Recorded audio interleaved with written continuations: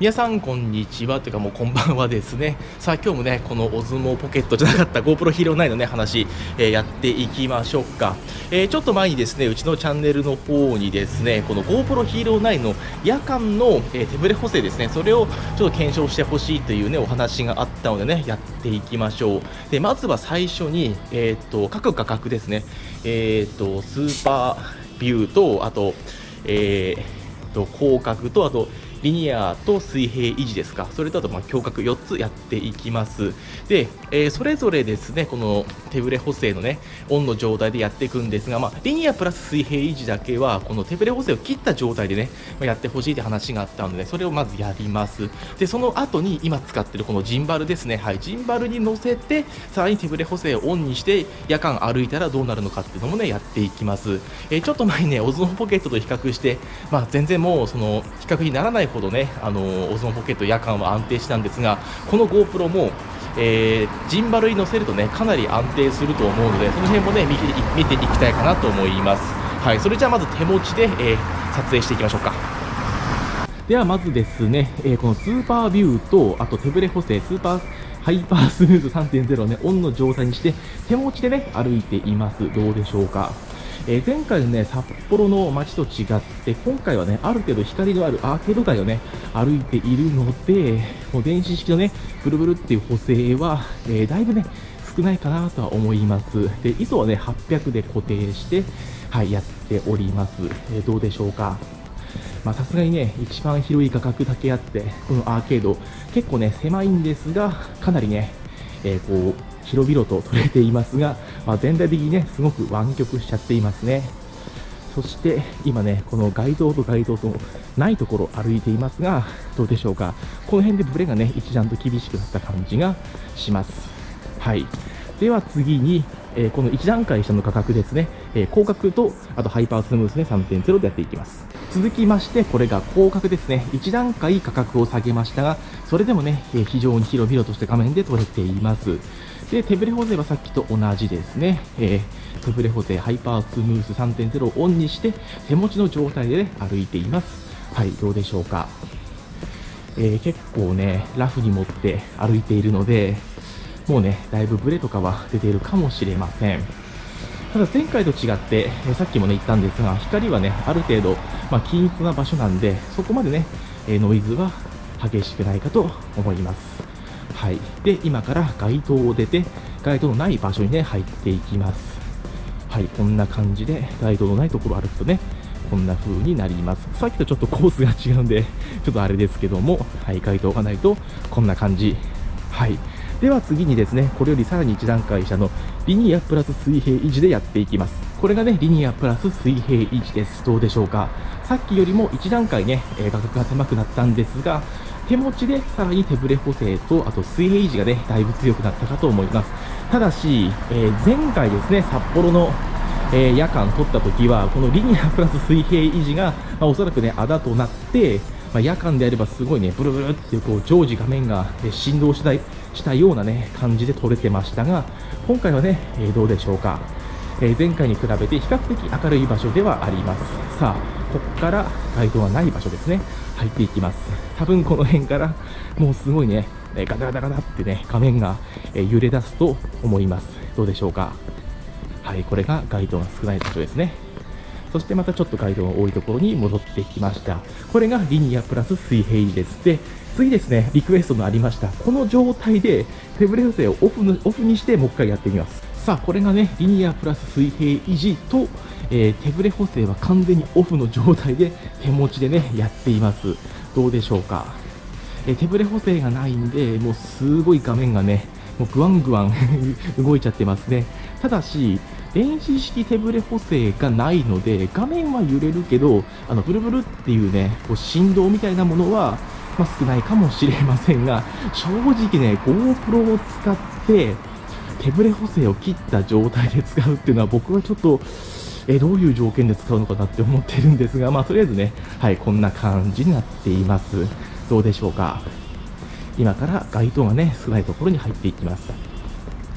はい、街灯が少ないところは、こんな感じ。だいぶ暗いですが、まあ、それでもまだね、画面はある程度何が映ってるかってことは認識できるかと思います。はい。さあ最後胸郭やっていきましょう。これがね胸郭プラス手ブレ補正はオンの状態ですね。一番画角が狭いと,、えーと、手ブレ補正はねハイパースムースとブーストですか。ブーストがねオンの状態で、え、やっています、まあ、それ以外はね選択できないんでブーストはオンの状態にしています。はいこれが、えー、胸郭ですね、まあ、これもあんまり僕は 使う機能ではないんですが、はい、夜間ではねこんな風に映ります。はいどうでしょうか。さあ一通りね、えー、価格のチェックとあと夜間のね挙動も調べたところで、えー、次ですねジンバルの電源をオンにしてやっていきます。さあこれがね僕が一番気になっています。前回のねあの札幌でのあの映像のガタガタ具合がねどれだけ治るのか、まあ、ちょっと気になりますね。それではジンバルの電源をオンにしてまたね、えー SuperView からやっていきましょう。さあジンバルの電源をオンにしました。で画角は SuperView にしてえ HyperSmooth 3.0はオンの状態です。どうでしょうか？さっきと比べてだいぶね変わったんじゃないでしょうか？今回使うジンバルはですね、えーと、フェイユーテックの G6MAX を使っています。いやなんかねこの小さい画面でね見る感じでも明らかにね、えー、手ブレ補正が効いてることが、えー、分かりますね。どうでしょうか？だいぶ寒いですけども まあまあ頑張ってやっていきましょうか光がねだいぶ少ないですけども、まあ、ISO 感度はある程度絞ってるんで、まあ、見られないこともないかと思います風もね少ないんでね音声も、まあ、多少はクリアに聞こえるんじゃないでしょうかはい今街灯のね少ないエリアに入っていきますはいどうですかねこれがハイパースムースのね、ハイパースムースじゃない、スーパービューですね。ちょっと間違えるね。はい。では次に価格を1段階攻めてみます。広角ですね。続きまして広角です。で、ハイパースムース3.0が入った状態ですね。で、今はある程度街灯があるところでジンバルに乗せてやっています。さあ、前回というかさっきとね、比べてどれだけね、差が出てるでしょうか。あ、今、相沢さんの電気が完全にね、消えてしまいました。なんでね、え、ちょっとだけね、暗い感じかもしれません。今、とりあえずジンバルにね、乗せて、えー安定化してるとはいえね、結構ラフな感じで手に持ってるんで、まあ、もしかしたら少しね、えブレみたいなのがね、出てしまうかもしれませんね。はい、これが回答がね、少ない場所に入った感じです。どうでしょうか。まあ、さっきに比べて、もう明らかにね、良くなってると思います。で、次ですね、はい、リニアプラス水平維持、さらにジンバルを乗せて、一番ね、えー、手ブレ補正が効いた状態でやっていきます。続きまして、リニアプラス水平維持プラス、えー、ハイパースムース3.0プラスジンバルっていうね、一番ね、え、手ブレ補正がね、え、効いた状態です。さあ、ここまでやればね、仮に夜間だったとしても、えかなりね、手ブレ補正は防げてると思います。ね、GoPro 唯一の欠点である夜間ですね。それもね、このジンバルに乗せることによって、かなりね、オズのポケットと、えいい勝負がね、できるかと思います。この画面で見る限りはね、なんか本当にね、すごい滑らかにね、えー、補正をしてくれてる感じがします。あの電子式手ブレ補正特有のね、えー、ブルブルっていう映像は多分 出てないと思いますね。もうちっちゃい画面でね、ちょっと分かりづらいですね。はい。それじゃあ、横に回って、ちょっとガイドの少ない場所へ行ってみます。ここに来ると、えー、どうでしょうか。手ブレ補正はね、どんな風に、えー、効いてますでしょうか。はい。これで、えー、っと、あと最後ですね、胸郭をやって、え、全部のね、価格のチェックが終了します。はい、これが最後、胸郭ですね。胸郭プラス、え、ハイパースムーズ3.0プラス、えジンバルの状態でね、やっております。はい、胸郭なんでね、強制的に、あの、ハイパースムーズはブーストが効いた状態で、え歩いています。どうですか？これがね、一番最後ですね。さあ、だいぶ何周もね、同じ場所を 歩いてるんで、まあ、ちょっとね、あの、あの、なんだろう 街行く人っていうのか、すれ違う人とは、まあ、ちょっと変な顔で見られちゃいますけど、まあまあ、しょうがないですね。はい。まあ、どうしてもこういう転生ってね、この、同じ場所を行ったり来たりするんでね、えー、かなりおかしな挙動になってしまうんですが、まあまあ、しょうがないですね。ただね、やっぱここが一番ね、えー明るいっていうんですかね、稚内の中じゃ夜もある程度の明るさが確保できるんでね、え夜間体制にはぴったりの場所じゃないでしょうか。はい、これで全工程が 終了しました。お疲れ様でした。いや、結構今回はね、何パターンも撮りましたね。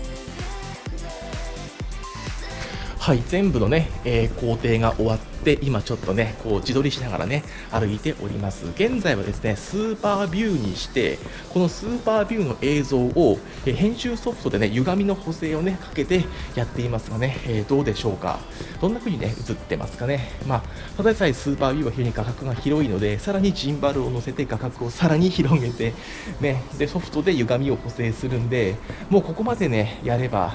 価格って問題はねおそらく文句の、えー、ないかと思いますね。なんかもうあの誰か他の人に撮ってもらってるような感じのね、えー、アングルで撮れてるんじゃないでしょうか。正面からね歩くとこんな感じ。あやっぱりこのフロントモニターがねついてるのはいいですよね、まあ、なんとなくではありますけどもこの価格もねチェックできますから。はい今一番暗いところに入りましたが、えー、どうでしょうか。真っ暗だね画面ね。はい。で今はね ISO 感度800でねやってるんですけどまあね正直これ以上ね上げて1600とかにしたらノイズがね激しくて正直言ってまあ、本当見られた、まあ、見られたもんじゃないっていうと少し語弊がありますけどあまりにもノイズがチラチラしすぎてね結構きついんですよね、うん、だったら暗くてもいいから多少ねノイズが少なくてそのなていうの皆さんがこう見た状態とかな僕が見た感じのえっと色色じゃなくて明るさがねこんな感じなんですよね。ほんとこの辺はねめちゃくちゃ暗いです。今ね少し街灯の真下にね来ましたけどどうでしょうか。はいこんな感じなんですね。稚内のねアーケード街も。本当日中でもね人はほとんど歩いていない感じなんですよね。ただ今日は、まあ、もうさすがに夜なんでもう本当に誰もいいませんね。まああのちょっと映像っていうかその各各各画角であのいろいろ行き来してた時には信号のとことかで人とすれ違ったりは、まあ、したんですがそれ以外は全くね、えー、人の気配のようなものは感じられません。はい、だいぶね、今、ちっちゃい声でね、喋ってますけど、どうですか、ちゃんと聞こえてますかね、一応、この GoPro のね、えー、マイクっていうのも、まあ、どのくらい拾うのかっていうのはちょっと知りたかったんですよね。で、今日はね、あの風がほとんど、えー、ないんで、多分音が左右にね、触れちゃうことも、えー、多分ね、ないかと思います。いやそれにしてもね、この GoPro ヒーロー9ブラック自体はちっちゃいですし、この G6MAX もね、非常にコンパクトなジンバルで、まあ、3軸ロックのね、機構もあるんで、これもね、旅行ではいいですよね。まあ、ジンバルっちゃジンバルですけど、そこまでね、大げさにはならないんで、うん、いいですね。前みたくあの、ね、浪人とか、あの、アルファ6600とかだったらもう本当にすごい大きいね、機材になるんで、なんか旗から見たら、なんかこの人、何やってんのかなっていう感じなんですけども、まあこれだったらね、ギリギリ、なんだろう、威圧感は 少ないかな。まあ自撮り棒くらいでね、見てくれるといいんですけどね。はい、そういうことでね、この、えー、アーケード街をね、えまっすぐ歩いていました、うん、価格はね一番広い状態でやっております。いいですね。この広々としたね GoPro らしい、えー、画面でね撮れています。ただしまあ夜ってところをね 除けばなんですけども。はい。さあということでね、えー、一通り絵が撮れましたんで家に帰ってねちょっと僕もこの映像を確認してみたいと思います。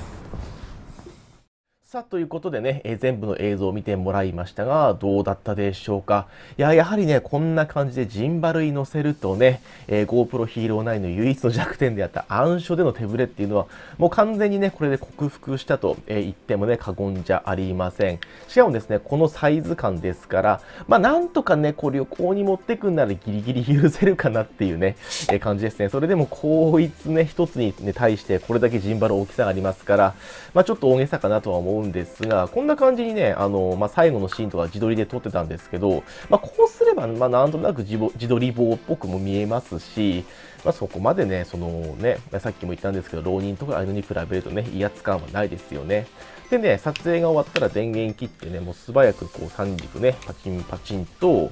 まあ、ロックをかければ、